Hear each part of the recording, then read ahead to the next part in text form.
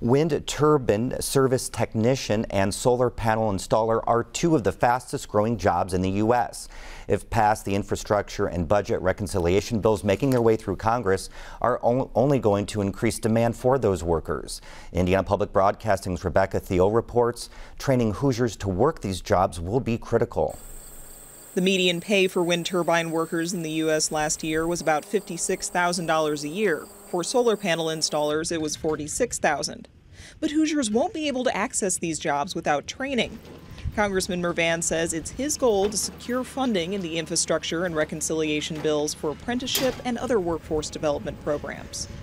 Clean jobs, those are union jobs, and those are jobs that are able to sustain people's families. They're able to sustain a pension, they're able to sustain health care, putting kids through college. Among other things, the bills would also increase the need for more workers for roads, bridges, water pipes, airports, and mass transit.